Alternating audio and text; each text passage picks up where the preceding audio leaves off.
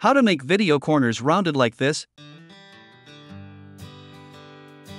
using the CapCut app. And it's free. First, import your video into the CapCut app editing project.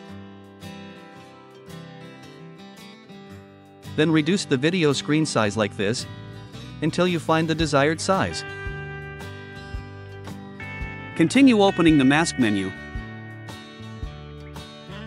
Select the rectangle effect. Then first set the height and width of the masking line.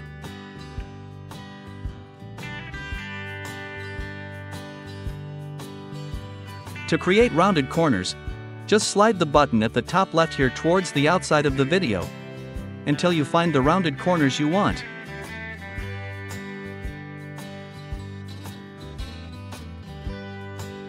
The final step, open the background menu, then select blur, or other options as desired. And then, select the level of video blur you want. Finished. And here are the results.